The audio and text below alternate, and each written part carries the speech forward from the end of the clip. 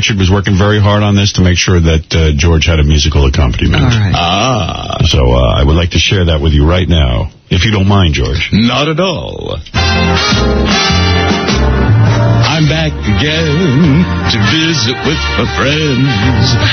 Howard Stern with all of your pranks. The lady quivers, their witty words of wisdom, and cuddly muffins, sweethearty lamb. Howard, you don't walk the straight and narrow. The truth with jokes and burps and strippers standing for the rights. We hold so strong in the USA. Howard Stern, you rascal and our hero, dressed in drag or fartman suit.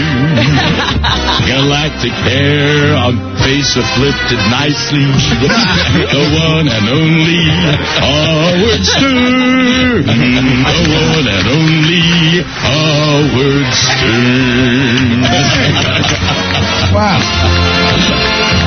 That sounds great. It's terrific. I tell you, when when you